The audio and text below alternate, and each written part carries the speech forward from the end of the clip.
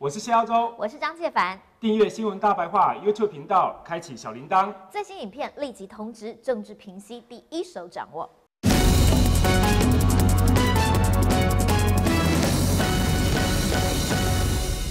明年珠光教是否要调薪，还要等行政院长苏贞昌定夺。郭台铭率先喊话，公务员应该要比照红海加薪七趴。他今天进一步的表示，政府给大家加薪是对的事情，但如果没有办法拼经济，裁员就会有问题。政府要给大家加薪是对的事情，对，那个低薪政策应该由政府开始做起。其实加薪里面有三个问题，第一个问题我认为。裁员哪里来？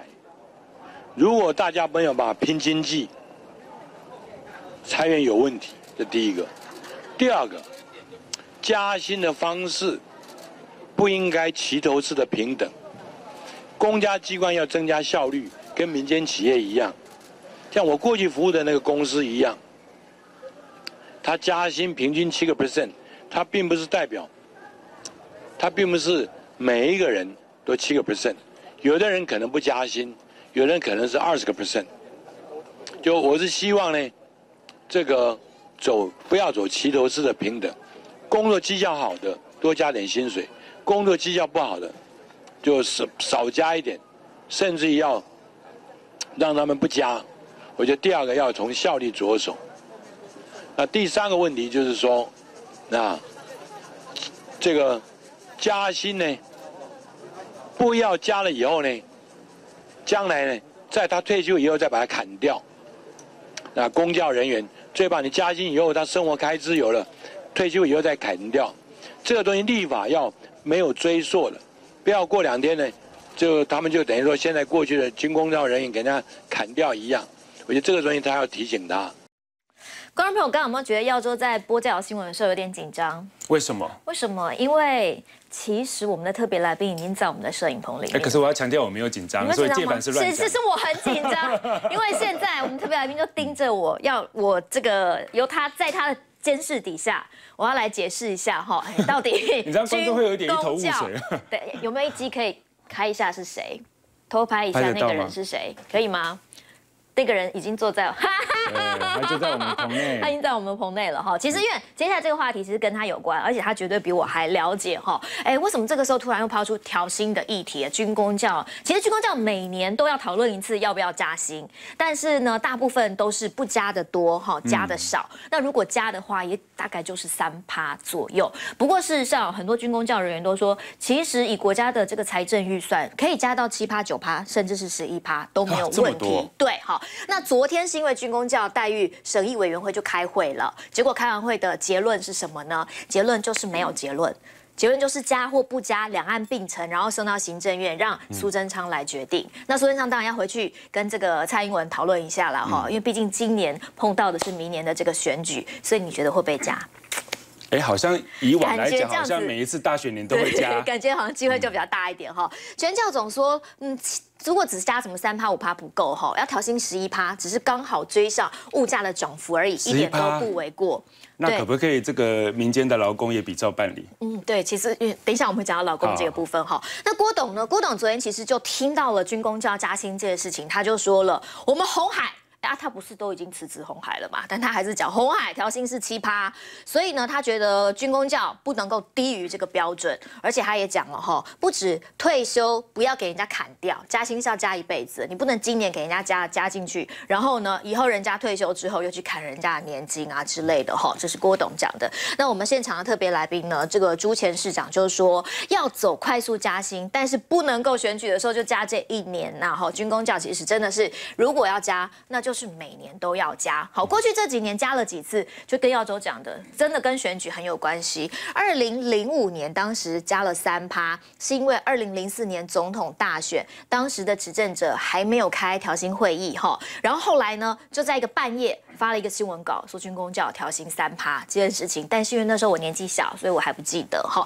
二零一一年的时候，因为二零一二的总统要要选举了第二次，哈，马英九总统要竞选连任的时候，当时军工教加了三趴。这时候你还没跑吗？呃，有有啦，这个时候跑。你不是前年开开始开开始跑？我去年好，就去年这一年，二零一八年，二零一八年的时候为什么加三趴？你还记不记得？这一开始是林权当这个蔡英文第一任行政院长的时候，不是说什么钱不够，所以军工教就没办法，今年看起来没办法加薪喽。但是后来就换了行政院长赖清德一上来之后，就钱就够了，钱就够了，而且刚好其实遇到的是去年底的这个九合一大选了，那白加啦。呃，好，我乱讲，你不要这样，今年好不好？也说不定也有机会加。二零二零年哈，毕竟要选举，所以是一个问号。行政院说，事实上每年在编列年度预算之前，都会有这些例行的会议开，包括军工教调薪，多半要考量的是 GDP 呀、哈民生物价指数啊、民间薪资水准等因素。但是你知道，其实今年加会很尴尬，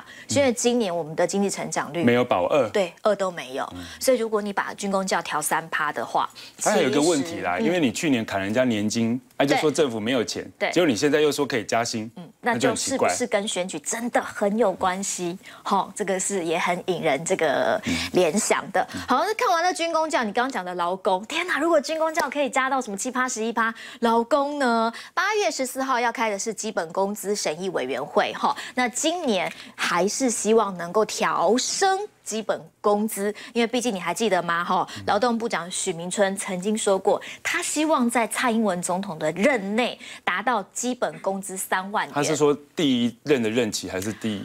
他没有这这个很模糊，他没有说第一任还第二任，他就说希望任内。但是因为他可能也很怕后面没有四年，所以他可能就哦，这三万元，朱市长也很有没对啊。哦，他之前不是得诺贝尔奖就是这三万元嘛？好，等一下我们跟就诺贝尔奖金应该跟市长分一分。对。好，但所以今年哈说可能就劳这个劳工的部分基本工资应该在八月十四号开会，应该也是往调升的方向走了哈。只是你觉得有没有可能达到在在蔡英文的这个第一任的任期之内达到所谓的基本？你如果是往后推个五年后，因为我觉得五年之后的物价不知道是怎么样了。不知道，嗯，因为是这个市长提出来也是大概四五年前吧，那个时候物价又跟现在不太一样。对，但他当时就已经喊到三万了，所以现在哈这个蔡英文。他的这个证证件开始要追这个三万块，那所以不知道哈，今年这个八月十四号开这个基本工资审议委员会的时候，就来看看今年的劳工哈会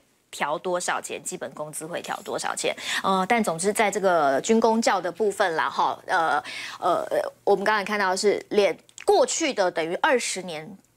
算是二十年，将近二十年，其实也只加了三次，军工教加了三次，各三趴哈。昨天我在问这个呃全国军工教协会的理事长李来希的时候，你知道吗？他是很少。认同郭台铭，但是我昨天为了年轻的事情大骂郭台铭，对，大骂郭台铭。但是他昨天听到说郭台铭说要比照红海要调薪哈，就是不能够低于这个奇葩军工教的时候，他就说乐观其成哈，非常的开心。他说他希望能够听到有其他的总统的这个参选人喊出加到十一趴、十二趴的，他觉得这就政府的财政部分是可以 cover 的。那当然就政府财政部分，我我不是专业。所以等一下四点钟，哈，这个前新北市长朱立伦最专业的啦，最专业的，哈，让专业的，让正常的轮，让正常的轮，对，专业又正常，对，正常的轮来跟我们讨论一下哈，包括这个军工教的加薪问题，甚至是包括劳工基本工资的问题，以及这个朱市长最近也提出了包括冻卵。哎，这个很很先进的哈。现在其实很多的女性都会做这个冻卵的手术，为什么呢？因为年轻的时候晚婚，然后都在拼事业，等到真的想生小孩的时候，哇，发现身体的状态可能已经不是那么那么好了，所以冻卵就很多人做冻卵，但冻卵很贵耶，不便宜哈，大概平均也要八到十二万。所以这个朱市长也提出了他的一个政见，他说要补助冻卵，所以这些零零总总的，等一下我们让他。自己跟我们说明白。